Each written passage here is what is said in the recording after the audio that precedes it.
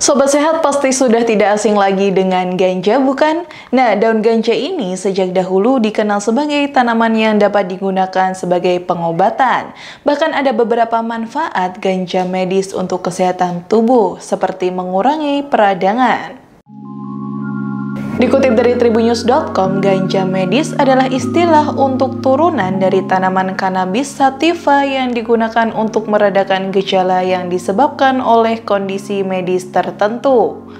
Produk ganja ini biasanya digunakan sebagai obat medis.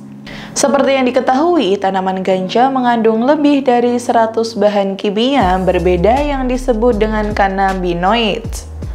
Bahkan dalam sebuah studi, mengkonsumsi ganja medis bagus untuk kesehatan tubuh, di antaranya mengurangi kecemasan, mengurangi peradangan dan menghilangkan rasa sakit, mengontrol mual dan muntah yang disebabkan oleh kemoterapi kanker, hingga membunuh sel kanker dan memperlambat pertumbuhan tumor merelaksasikan otot yang tegang pada orang dengan MS, serta merangsang nafsu makan dan meningkatkan berat badan pada penderita kanker dan AIDS.